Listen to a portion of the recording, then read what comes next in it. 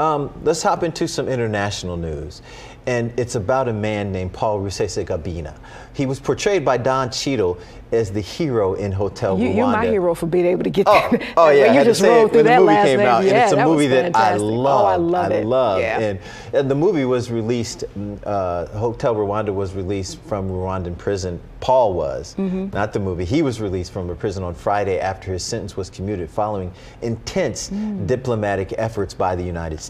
Now he was accompanied by a U.S. embassy official, as that's him right there, Paul Rusesabagina. Wow. And it's interesting mm-hmm. because he's. I remember when the movie came out and he was much younger. Oh, anyway, officials watched him being removed from prison, and he has residency at the Qatar uh, embassy mm-hmm. in Kigali, Uganda.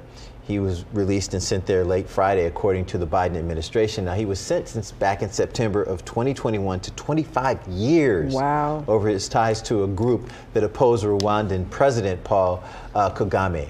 Now, President Biden issued a statement thanking the governments of Rwanda and Qatar for making this possible. That's what I remember seeing yeah. when Bush awarded mm-hmm. him. See how much younger he is, and and yes, he's he's aging, but it's good to see him free, in good health, in good health, and able to continue to tell his story from yes. his perspective. Yes. Did Don Cheadle get anything for that? He got nominated, nominated? but did not win. Oh. And I'll tell you what, Hotel Rwanda is Amazing. well worth watching because it it's about it's it's all black faces But when the uprise happened in that mm-hmm. country, mm-hmm. Neighbor turned on Neighbor, and his hotel uh, was housing people for survival, mm-hmm. and and they it was a brutal assault.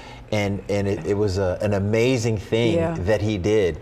It's almost like a Schindler's List story where he saved uh, people that would not didn't have anywhere else to go. So yeah. there is a, a, a, book that I read, uh, a survivor. Her name is uh, Immaculata Ibagazi. Mm-hmm. Um, the book is called Left to Tell. Mm. If you've got a break coming or you need just some good riveting, um, you know, writing and just something just going to make your heart sink, and the yeah. way she was able to survive by hiding. Wow. It is just a great read, and it really mm-hmm. brings home, you know, how tragic and horrific that time in Rwanda was. It was just yeah. unbelievable. The bloodshed was just yes. unbelievable. Unbelievable. It was. Yeah, it yeah, was. yeah. It was.